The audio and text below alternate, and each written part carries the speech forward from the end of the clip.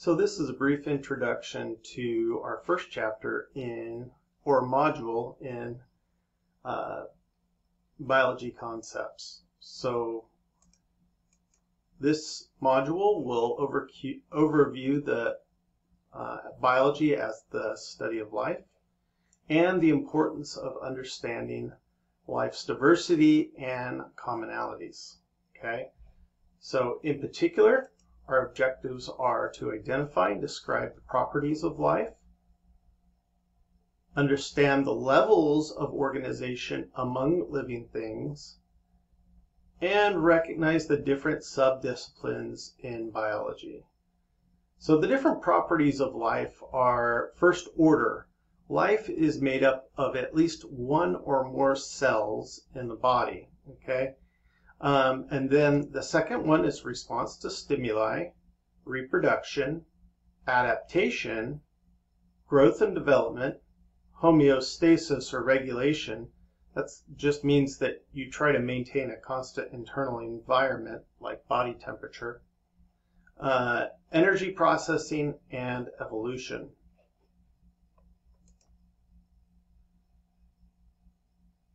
Then we have hierarchies or levels of organization.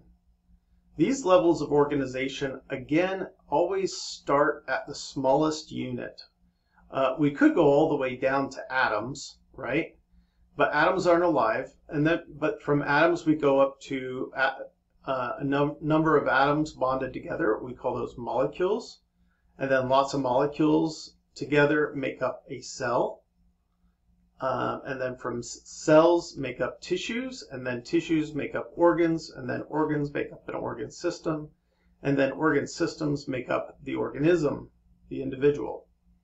Then organisms make up a population, and groups of populations make up communities, and communities make up ecosystems, and then all life on Earth is part of the biosphere. Uh, and it's important to understand each level ha has its own um, combination and levels of complexity in life.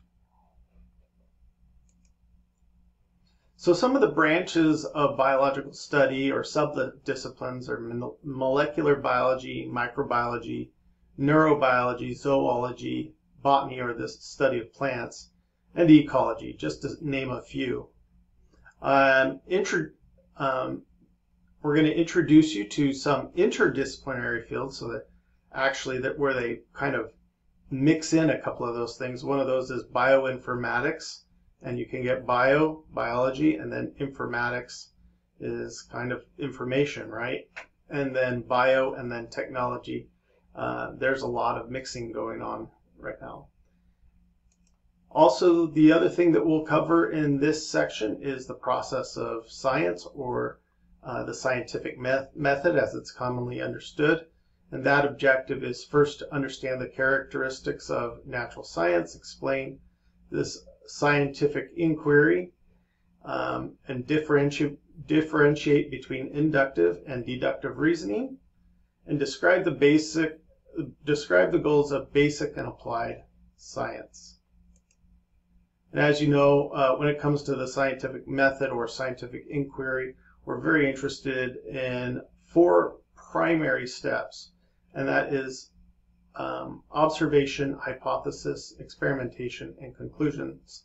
And there can be lots of sub-steps on there. If you open up a textbook, you're going to see a whole lot more than those four basic steps, but those are the main ones. And then eventually we have to talk about what a peer review is. And so science, in order for it to be useful, has to, you know, have some level of credibility to it. And we uh, ensure there's credibility in scientific um, in scientific research by uh, having it go through a peer review to make sure that all the proper steps were were found.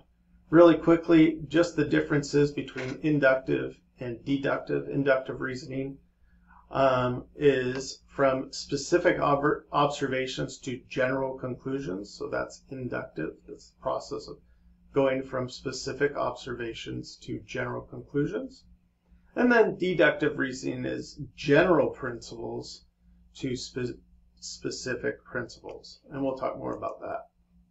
The differences between basic and applied science is uh, basic science is expanding knowledge without immediate practical application. So we don't really know what maybe our immediate scientific experiment means to the broader world, but it, it's still useful. When we do applied science, we take what we learn in the laboratory and then we go out into the real world and use it. And so it's real world application.